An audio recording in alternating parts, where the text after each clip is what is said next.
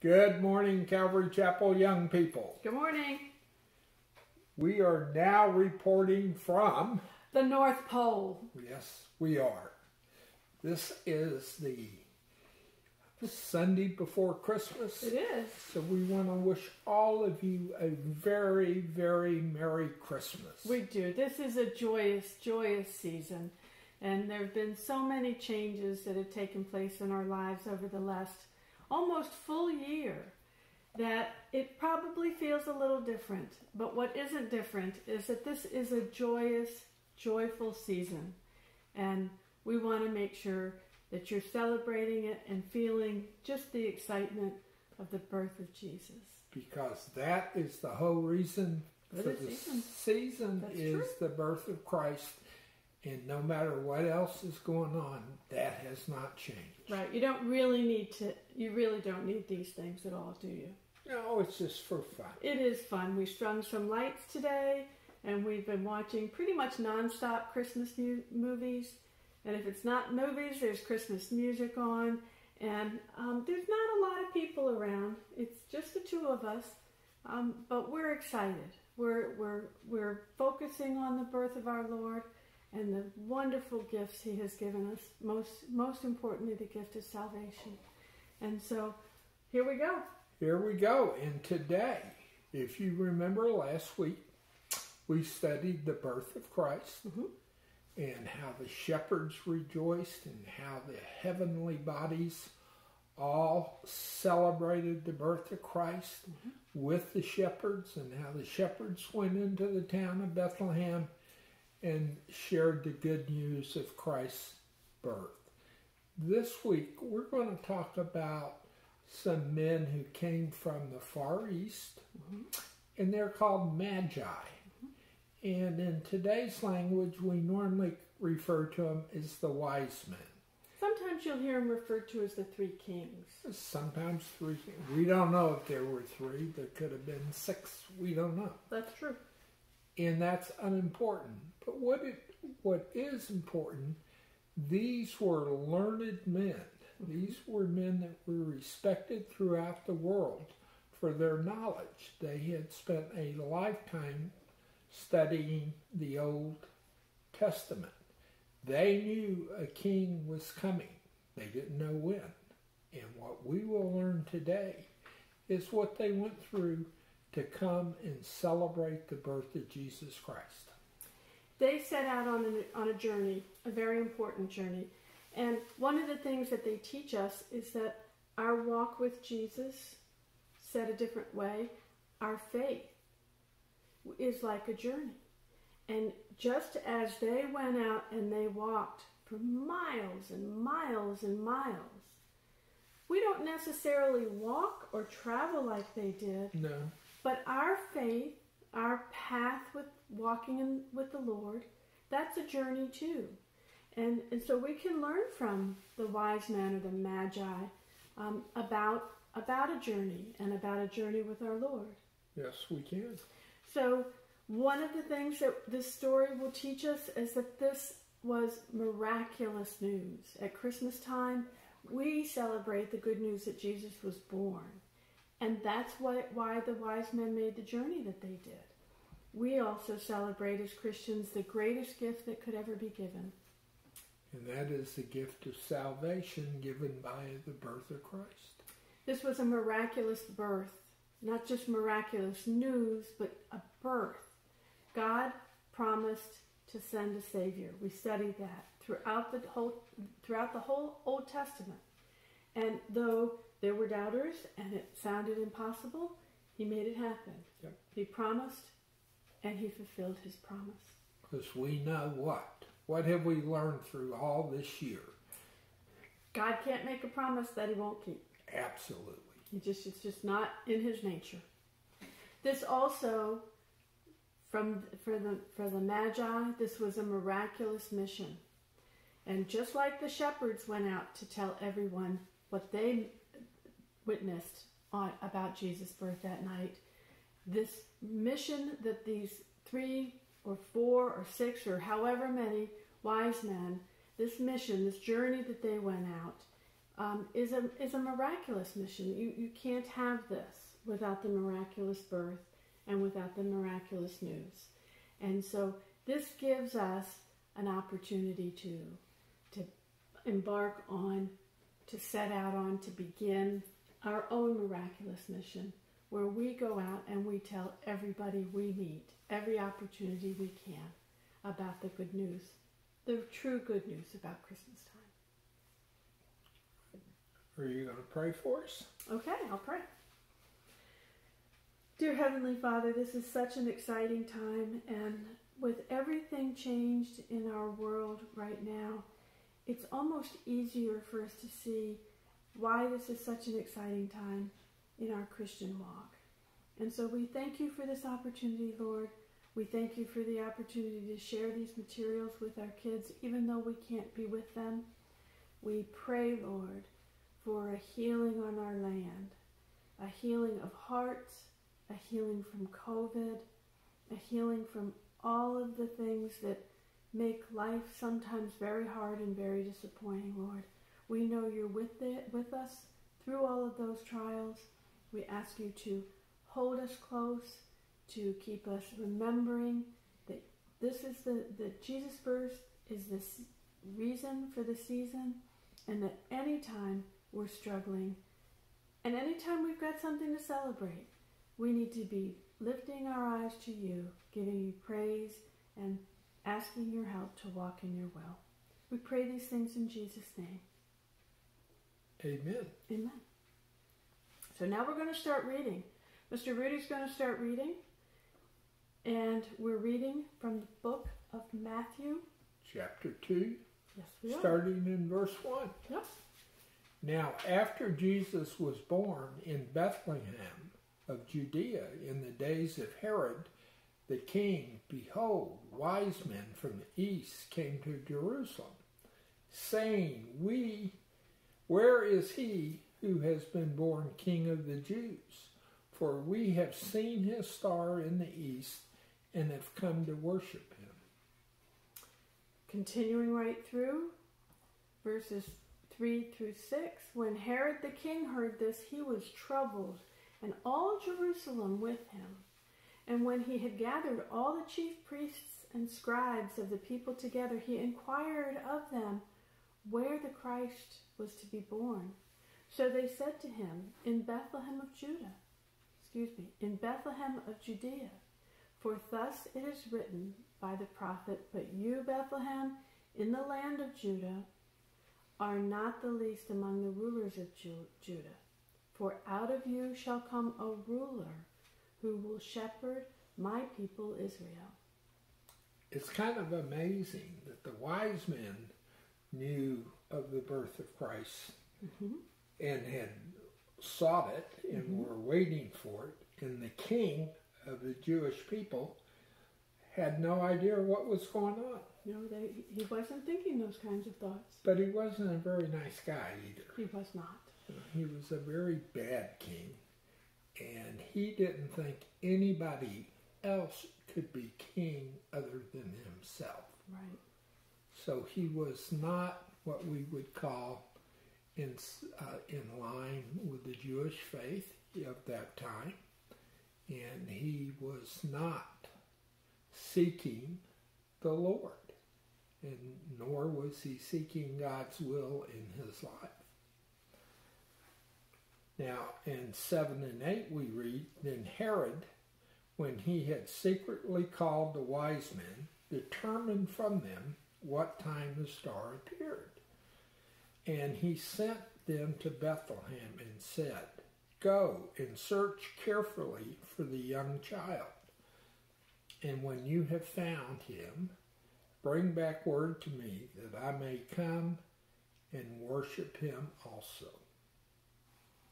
When they heard the king, they departed, and behold, the star which they had seen in the east went before them, till it came and stood over where the young child was. And when they saw the star, they rejoiced with exceedingly great joy.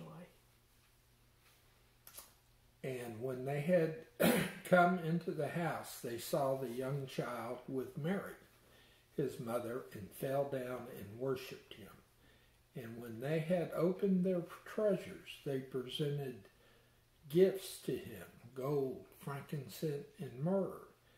Then, divinely warned in a dream that they should not return to Herod, they departed for their own country another way. And we see here where man may try to alter God's plan, but ultimately God's plan will be done.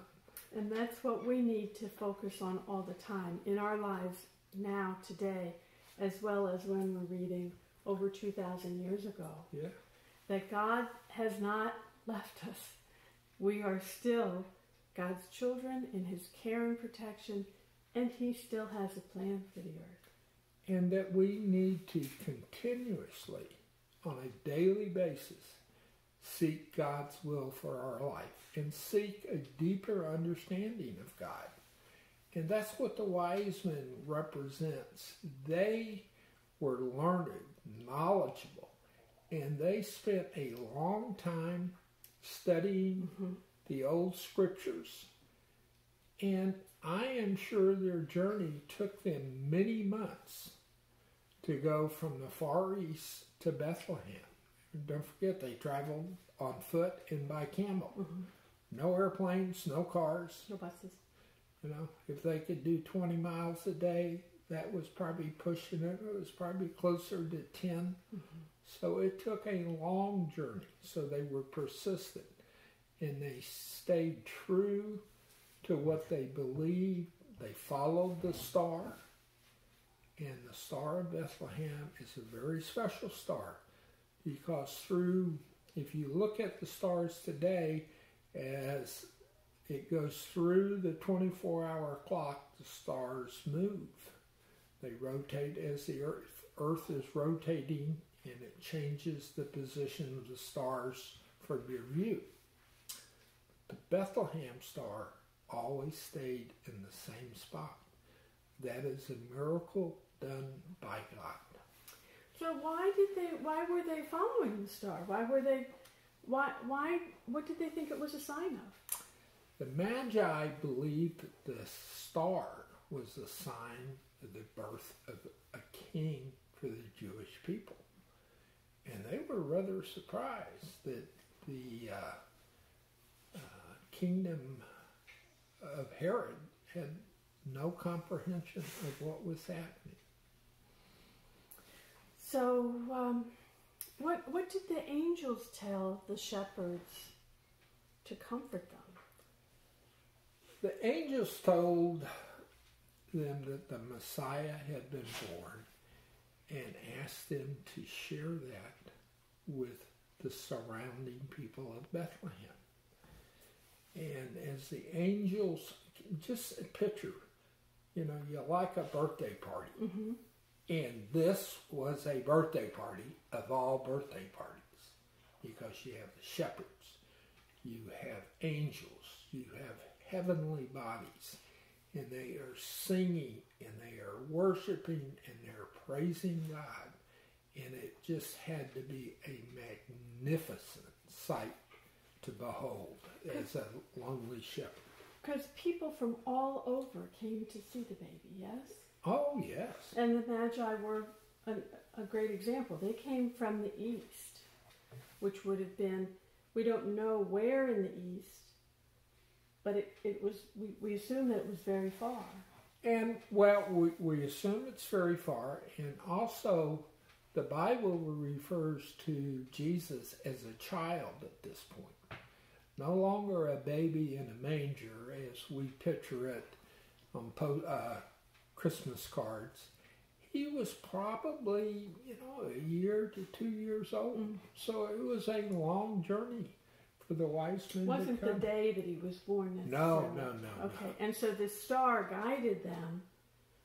That's that is truly miraculous. And when what what where were they when they started to ask people about the king, the newborn king of the Jews? Well, they had gone to Jerusalem mm-hmm. because that was the capital of Judea, mm-hmm. and that's where the king was, and that's where they inquired. And did they find people who knew anything about it? They, the people that were somewhat ignorant, but they did go to the Old Testament hmm. and looked it up and found where the birth was to take place. Okay, okay. And so this baby to be born is being promised as, as the king of the Jews. Yes. But was there not already somebody who thought himself to be the king of the Jews? King Herod, again, who was not a very nice king, uh, he was resentful that somebody else would be called king of the Jews.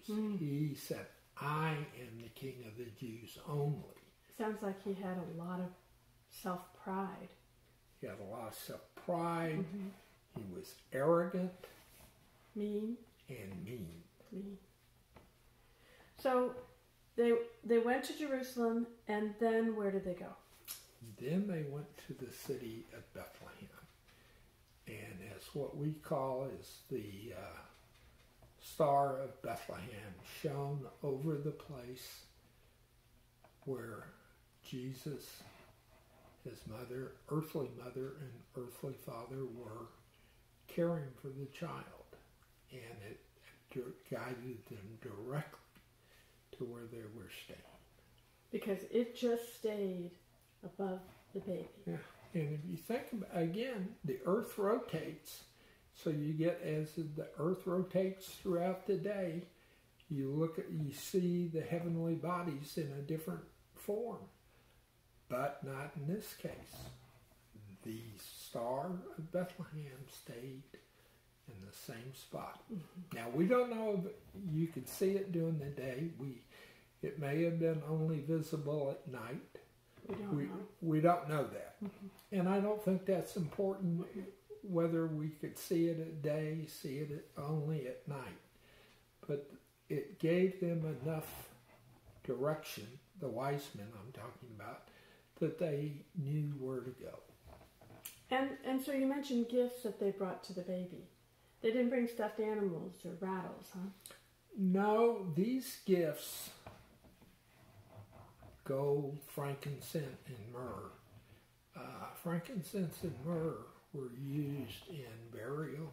Gold was obviously a, uh, a gift given only to special people because gold was not readily available to the average person. So these gifts were kind of on earth considered to be they were probably expensive. They might have been rare. So they they were considered to be worthy of giving to a king. worthy of giving to a king and also representing kind of what would happen to our Lord as he became a man and how he was going to uh, be treated and what would happen to him as he became our savior and what he had to what price he had to pay to be our savior I wonder what they thought as they were bringing gifts suitable for a king and suitable for a person who would grow to do very, very important things. And they found him born in a manger. Well, I think the wise men understood, They understood what his birth meant. and, and that was the important thing, That may be why we refer to them as wise men. probably. So, how did God warn them, and, and Joseph even, that Herod had planned to kill baby Jesus, or the child Jesus? Well, through a dream, mm-hmm. and, and we know that God talks to us through dreams, through visions, but in this case, He gave them a dream and told them not to return to Herod, but to go a different way in return, to, to return to their home. And that's what they did. And uh, what Herod wanted, he wanted to know where Jesus was because he was going to kill him. I mean, that was the simple plan that Herod had. He was an evil king. But God's plan, again, will not be faltered by man. God had a plan, It started in Genesis, it ends in Revelation, and man cannot alter that plan. In our journey with Jesus, we don't have to travel across a continent. We know that He's always with us. All we have to do is pray. And we and we can pray with the bowed heads or we can sit and just talk to him. Mm-hmm. He's always there for us. No matter what we're doing. No matter what or where or what our circumstances are, he is always there for us. And that is the miraculous gift of Christmas. Not the frankincense, not the gold, but the real present of Christmas is that God is available to us every day as long as we ask. That's all we have to do is open our voice or speak to Him through a quiet thought, and He's there for us. Always. Always. Well, amen. Amen to that. Now, just one more time, we want to wish you Merry Christmas. Merry Christmas, and uh, we will talk to you uh, in another week, and we'll be starting a whole new series of uh, Sunday school lessons. And we hope you've enjoyed this past year, and we look forward to a much brighter 2021. We're looking forward to it too. Would you close us in prayer? Yes. Our dear Heavenly Father, Lord, thank you for this word. Thank you for the example of the Magi. Lord, we know that uh, they were learned men and they studied your word and they sought you out. And they give us an example that we need to study your word and seek you. And if we do that, you are readily available to us. You've promised that if we seek you, we will find you and you will be with us and you will guide and direct our steps. So we know we're in very difficult times and there's things that going on that we have uh, difficulty comprehending uh, and we don't quite understand why. But the one thing eh, constant that we have in our life is that you're there, you will be with us, and you will see us through the most difficult and dark times as you will see us through the glorious and happy times. And today, as we celebrate your son's birth in all the chaos of this world, it is a glorious time. And it is a time to raise our voices in praise to you. In Jesus' name, amen. Amen. Have a great week. Bye bye. Bye.